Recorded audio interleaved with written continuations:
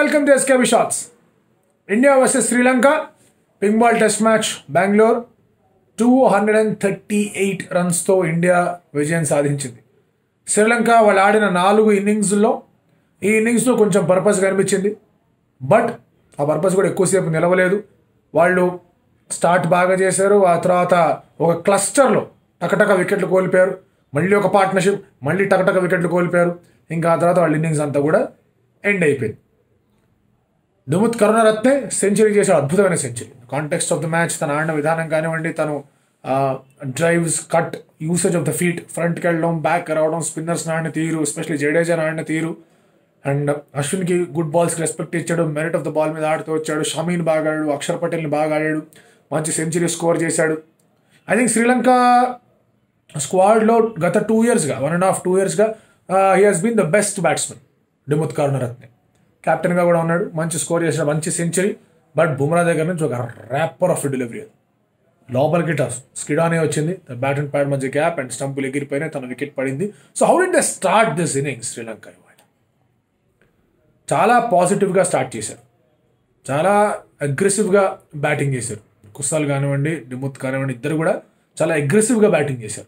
Four and half four point seven runs per ఓవర్తో batting చేశారు. బుమ్రా షామి అశ్విన్ జడేజా వీళ్ళందరినీ కూడా బాగాడు. I was little surprise Axar Patel ఎందుకు రోహిత్ శర్మ తొందరగా ఇంట్రడ్యూస్ చేయలేదు అని. ఎందుకంటే ఎప్పుడెప్పుడైతే తను వచ్చాడో you got the ball to skid so ఇంకా కొంచెం లాంగర్ స్పెల్స్ అక్షర్ పటేల్ ఉండుంటే కనుక బెటర్ రిజల్ట్స్ వచ్చేవేమో అనిపించింది.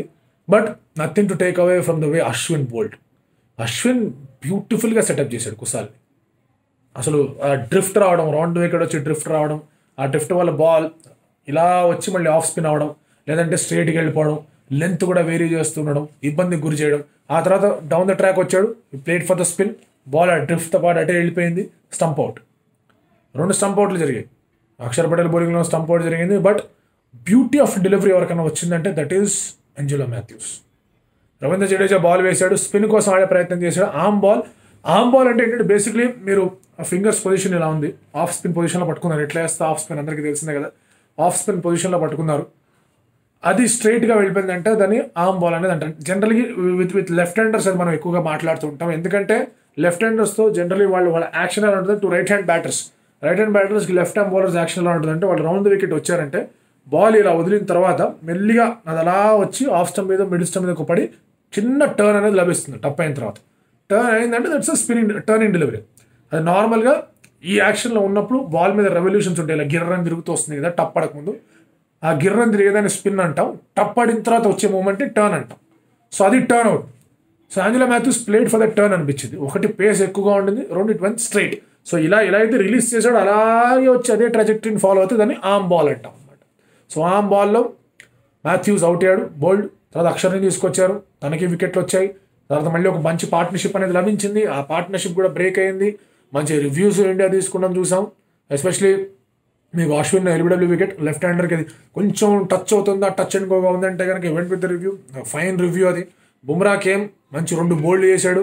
అశ్విన్ వికెట్ తీసేశాడు. He went past Dale Steyn ఇప్పుడు అశ్విన్ కన్నా ముందు కట్నీ వాల్స్ ఉన్నాడు ఫైవ్ నైన్టీన్ వికెట్స్తో అండ్ తనకన్నా ముందు ఏడుగురు మాత్రమే ఉన్నారు. ఎనిమిది మంది ఉండేవాళ్ళు. తనకన్నా ముందు డేల్ స్టేన్ కూడా దాటేశాడు ఇప్పుడు. అండ్ మంచి పర్ఫార్మెన్స్ అశ్విన్ దగ్గర నుంచి. పింక్ బాల్తో స్పిన్ వేయడం అనేది Uh, విత్ టర్న్ మీరు స్కిడ్ డౌన్ అవుతూ వికెట్లు తీయడం అనేది we have observed Indian pitches మీద. బట్ టర్న్ అండ్ బౌన్స్ లభించడం చాలా చాలా క్రిటికల్ అయిన అంశం. మీకు శ్రీలంకన్ బౌలర్స్ కూడా బౌన్స్ లభించింది. రసీద్ ఎంబుల్దేనాకి తనకి టర్న్ లభించింది. అశ్విన్ కూడా turn grip and spin bounce అన్నీ కనిపించాయి. So again shows Indian pitches మీద ఎంత కీలకమైన ఎంత లీథల్ బౌలర్ రవిచంద్రన్ అశ్విన్ అని చెప్పేసి.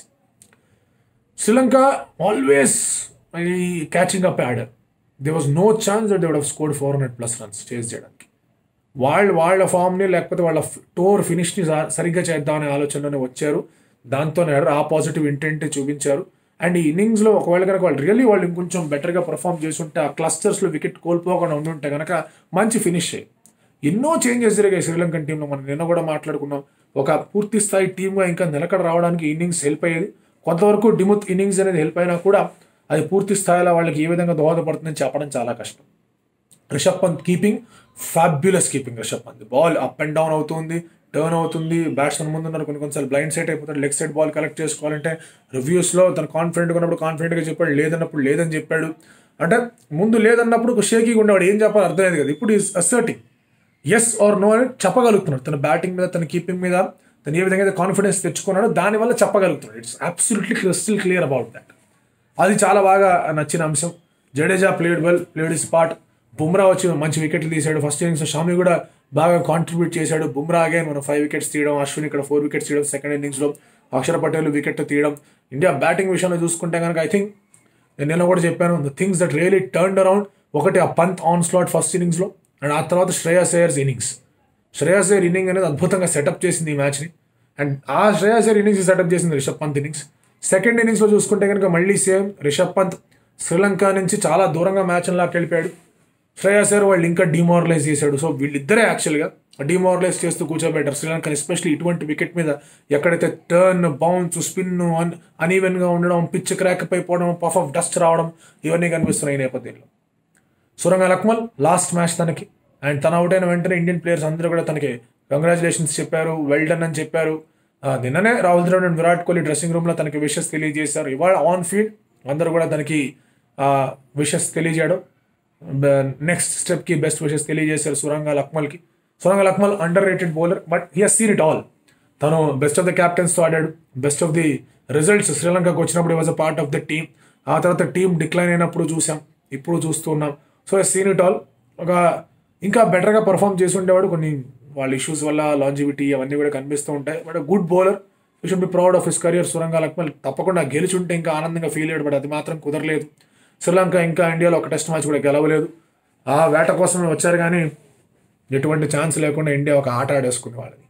సో ఎవరైతే ఇండియా గురించి కొన్ని పిచ్చి పిచ్చి ట్వీట్లు చేస్తున్నారో వాళ్ళందరికీ మంచి సమాధానం ఇండియానే ఇచ్చిందని చెప్పాలి ఇక్కడ. ఆ- కొంతమంది ఇప్పుడు ఇండియాలో వదిలేసి ఆస్ట్రేలియా పాకిస్తాన్ మ్యాచ్ మీద కూడా కూర్చొని ఉన్నారు. సెన్స్లెస్ టేస్ట్లెస్ సిక్ ఫెలోస్ వాళ్ళందరూ కూడా. అందులో అది జనరల్గా ఎవరి గురించి కూడా మనం తప్పుగా మాట్లాడడం కానీ ఇతని గురించి తప్పుగా మాట్లాడిన తిట్టినా కూడా నాకు ఎటువంటి ఫీలింగ్స్ ఉండవు. బట్ అది పక్కన పెడితే కనుక India's dominance in test match cricket in India అది ఇంకొక న్యూ హైట్స్కి వెళ్తోంది అనుకోవడం ఎటువంటి సందేహం లేదు. లాస్ట్ టైం ఇండియా మ్యాచ్ ఓడిపోవడం ఇంగ్లాండ్ ఇంగ్లాండ్కి అగేన్స్గా చూసాం కానీ అంతకుముందు ఓడిపోవడం ఆస్ట్రేలియాకి అగేన్స్గా చూసాం ఎప్పుడు వచ్చాయి టూ థౌసండ్ సెవెంటీన్లో ఒకసారి ఓడిపోవడం టూ థౌసండ్ ట్వంటీలో ఒకసారి ఓడిపోవడం. ఆ మధ్యలో అక్కడ ఓడిపోయింది లేదు. అంతకుముందు అక్కడ ఓడిపోయింది లేదు. టూ థౌసండ్ థర్టీన్ నుంచి సెవెంటీన్ దాకా ఓడిపోయింది లేదు India. So very rarely India is losing test matches and ఈ డెకేడ్లో నాకు తెలిసి నాలుగు టెస్ట్ మ్యాచ్లు మాత్రమే కోల్పోయారు. టూ థౌసండ్ ట్వంటీ వన్ పక్కన పడేస్తే కనుక లాస్ట్ డెకేడ్లో మూడు టెస్ట్ మ్యాచ్లు మాత్రమే ఇండియా ఓడిపోయింది. సో ఆ విధంగా డామినెన్స్ అనేది కనిపిస్తోంది. And pink ball test match crowd మళ్ళీ రావడం క్రౌడ్ చీర్ చేయడం క్రౌడ్ uh, సమక్షంలో ఇండియా గెలవడం all this things are very very nice justice ఒక రకంగా చెప్పుకోవాలంటే uh, వాళ్ళ సపోర్ట్ స్టాఫ్ది కానివ్వండి స్టేడియం వాళ్ళది కానివ్వండి మిగతా కన్సర్న్ అథారిటీస్ కానివ్వండి క్రౌడ్ వస్తేనే స్పోర్ట్కి మజా బాస్. లేకపోతే ఫేక్ అంబియన్స్లు వినుకుంటా ఉంటే అనిపిస్తుంది. క్రౌడ్ వచ్చి అరుస్తూ గోల గోల చేస్తుంటే అప్పుడు దాని దాని దాని ఫీల్ దాని కిక్ అంతా వేరు. Ideal India would of like Virat Kohli to hit a century అది కుదరలేదు తన యావరేజ్ ఫిఫ్టీ కన్నా తక్కువ పడింది but that is not something that he should worry about two thousand seventeen తర్వాత ఇప్పుడు తన యావరేజ్ ఫిఫ్టీ కన్నా తక్కువ వచ్చింది అది కూడా forty nine point nine six ఉంది. He should only think about playing positive cricket స్పిన్నర్స్కి out అవుతున్నాడు ఎక్కువగా. దాని గురించి మనం విరాట్ కోహ్లీ వీడియో మా మాట్లాడుకున్నారు రేపు మాట్లాడుకుందాం. బట్ ప్రస్తుతానికైతే ఫస్ట్ సిరీస్ రోహిత్ శర్మ కెప్టెన్గా అండ్ మంచి విక్టరీ రెండు కూడా త్రీ డేస్లో ఫినిష్ చేస్తాడు. So India pink ball test మ్యాచెస్లో ఇండియాలో ఇండియాకి తిరుగులేని రికార్డు ఉంది. అండ్ ఈజీగా uh, గెలిచారు. ఇంకొక ట్వెల్వ్ పాయింట్స్ సంపాదించుకున్నారు సొంతం చేసుకున్నారు. వరల్డ్ టెస్ట్ ఛాంపియన్షిప్లో ముందుకెళ్ళబోతున్నారు. అక్కడ పాకిస్తాన్ చూస్తున్నారు కదా ఏమవుతుందో. ఆస్ట్రేలియా ఫాలో అని ఇవ్వలేదు. ఎందుకంటే ఇదే రోజున ఇరవై ఒక్క ఏళ్ళ క్రితం ఫాలో అని ఇస్తే లక్ష్మణ ద్రావిడ్ గెలిచి తిప్పేశారు కాబట్టి ఫాలో అని ఇవ్వలేదేమో. But Pakistan is finding it really tough there so ఇండియాకి ఈ సిరీస్ హెల్ప్ అవుతుంది. ఆస్ట్రేలియాకి ఆ సిరీస్ హెల్ప్ అవుతుంది. ముందు చెప్పినట్టుగానే ఇండియా అండ్ ఆస్ట్రేలియా మధ్యలోనే Border Gavaskar trophy deciding factor అవ్వచ్చు as of now well done India Sri Lanka no match at all congratulations to team India ఈ సిరీస్ uh, సునాయాసంగా అవలీలగా అలవోకగా అమోఘంగా గెలిచినందుకు ఆఫ్ టు న్యూ కలర్స్ అయితే స్టార్ట్ అవబోతాం Stay tuned. Share your thoughts with SK Shots.